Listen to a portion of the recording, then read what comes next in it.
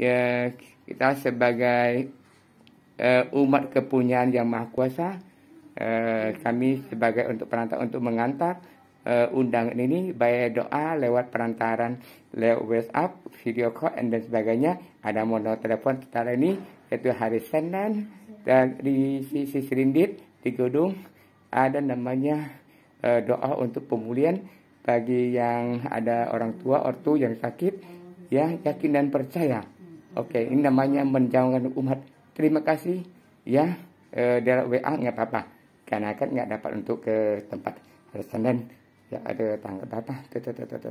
Tanggal empat mungkin besok dua tiga. Dua empat. Eh dua lima. Oke masih. Ya terima kasih. Agak sudi untuk menerimanya. Oke terima kasih. Terima kasih sudi menerimanya. Oke oke.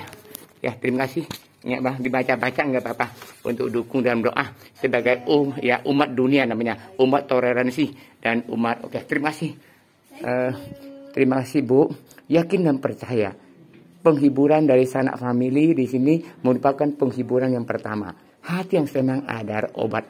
Ya, terima kasih Bu. Ibu pasti sembuh, yakin dan percaya. Kita beriman, bertakwa dengan doa dengan kusuk sesuai dengan keyakinan masing-masing. Terima kasih, terima kasih. Amin ya Allah, amin.